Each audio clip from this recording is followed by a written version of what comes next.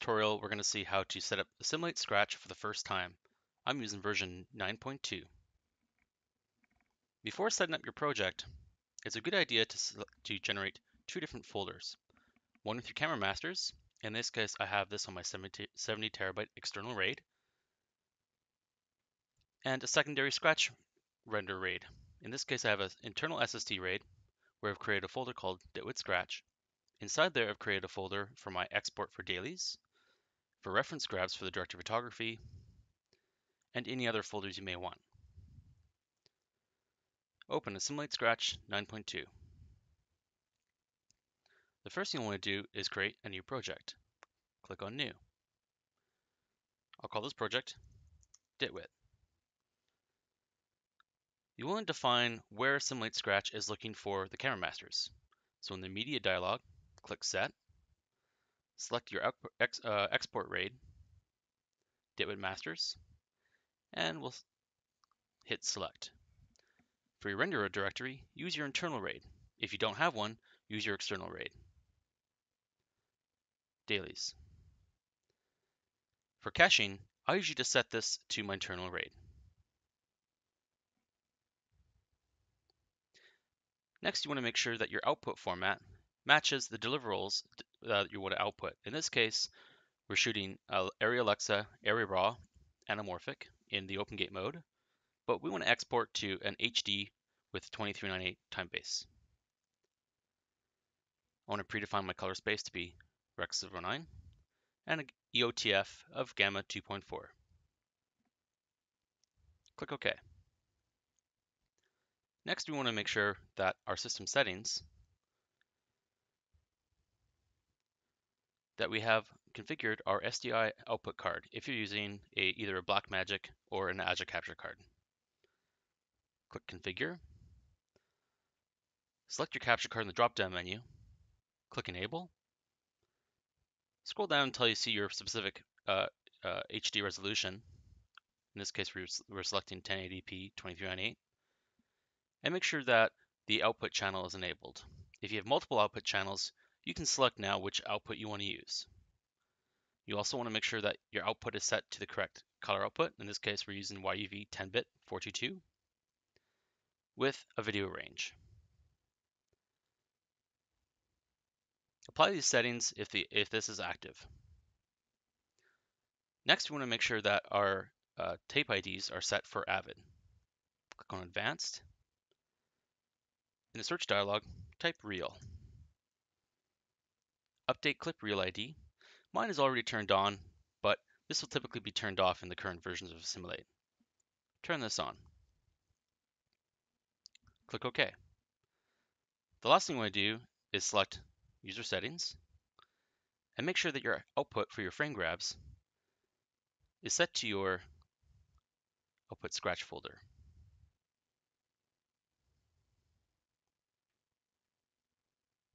And that's it you're ready to open the project. When you first open up the project, the Import Clips button will glow blue. Click on it. Navigate, uh, you can see that uh, Assimilate Scratch already navigates directly to the DitWit master output folder. We're going to select on our Alexa uh, camera masters. In this case, we're going to bring in AROL 8. If you want to uh, only bring in uh, a specific type of file format, in this case .ari, you can either set this here or leave it to all. One thing that's good to do to bring in footage in for the first time is to use create new timeline. Open. In this case, I want the footage to be brought into my current group, which can be seen here on my construct. And I want to create a new, uh, new folder name using the clip name. Because I'm going to manually bring audio in, because it's not in the same folder, I'll leave this turned off. But I do want to apply a LUT. I've already predefined my LUT folder, and I'm using the 5219 cube. Click OK. This brings the footage in, but you'll notice in the thumbnails that looks rather crunchy and saturated. The reason for this is the footage is brought in uh, expecting it to be uh, previewed as log C, with a uh, original camera uh, color space. you want to Command A to select all the clips, Media Browser,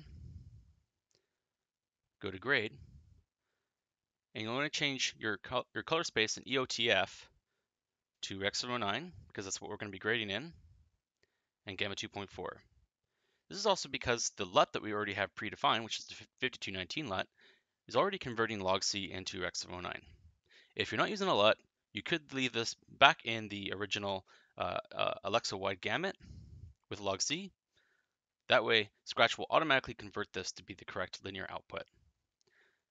The other thing you can check in base is that your reel ID names have automatically been populated using that using the preference setting that we already set.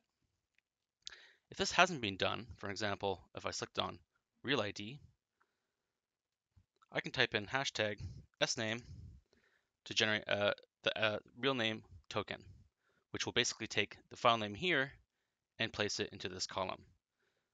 The reel ID is also called tape ID for Avid users. Okay. So now I can go into uh, color effects and I can see that my viewer right now, which is a HD monitor, is basically seeing the image zoomed in. So I'm just going to zoom out the viewer a bit. And you'll notice that it hasn't cropped the image to frame to my HD frame. So I'm going to use the framing controls. If I select width, because this is anamorphic footage and it was recorded in OpenGate, it's going to be wider than my 239 aspect ratio. I've pre-configured a scaling ratio of 37% to get me to my 239 aspect ratio. You'll need a rack layer to do this. To select this to all my clips, select all and apply. This transformation is now in all my clips. So now that I have the footage in, the next thing I want to do is bring my audio in. Go back to Construct, select all, Media Browser, go to your Audio tab, and select Fine Audio. Again, Assimilate Scratch automatically takes me to my external RAID, to my DITWit Masters folder, and in this case I've created a folder called Sound Masters, and I'm going to navigate to the original Sound Masters.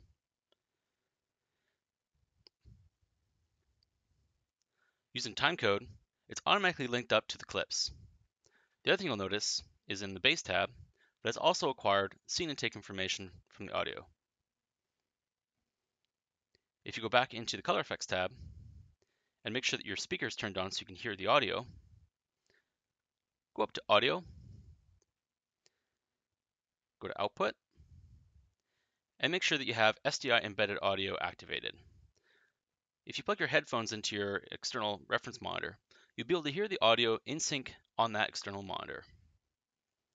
If you go to Mixer and play the clip, you'll see all the tracks that are currently active. In this case, the sound mixer cho chose to record six channels. If you want to confirm this, you can go to the Edit tab, Audio, and pull the timeline up. You can see here that the audio recorder did indeed use only six channels.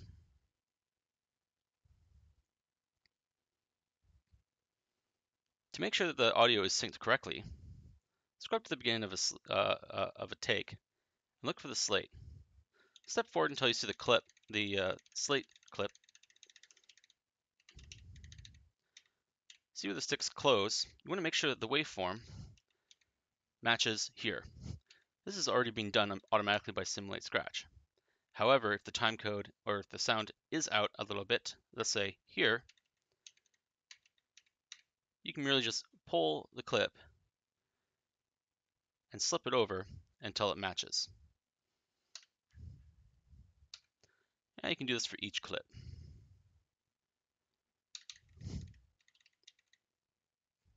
In this case, this one's out about a third to a half frame.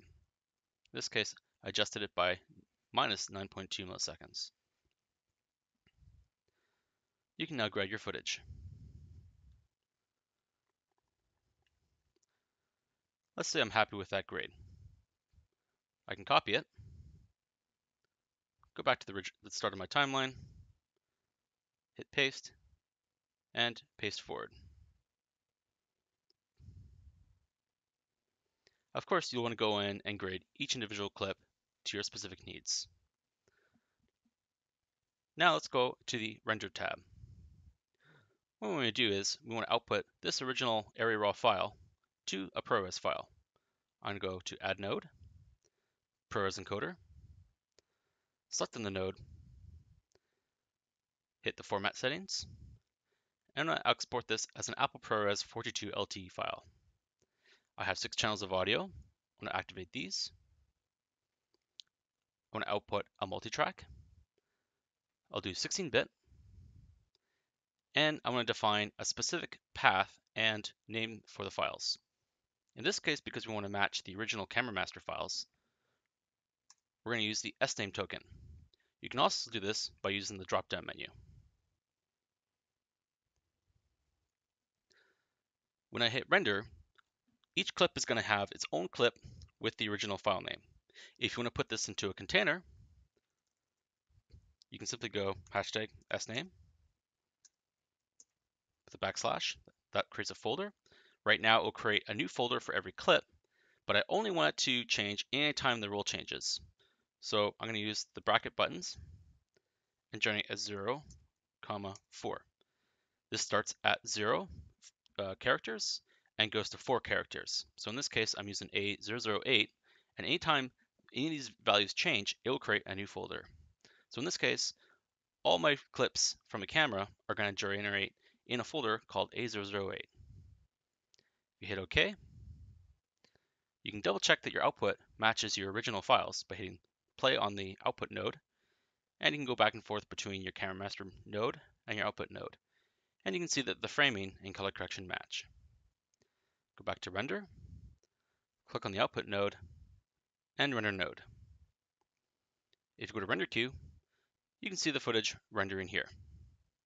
While this is rendering in the background, you can go back to construct and you can input your next roll.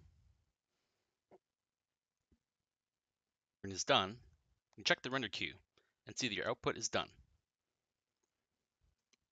Navigate to your Scratch. In Dailies, you'll see the folder that we created, in this case A008, and inside, all the clip names that match the, the original file names. To be sure that they exported correctly, go back to Assimilate Scratch, go to the beginning of your construct, click on the first clip, Import Clips. In this case, we want to turn off the Create New Timeline.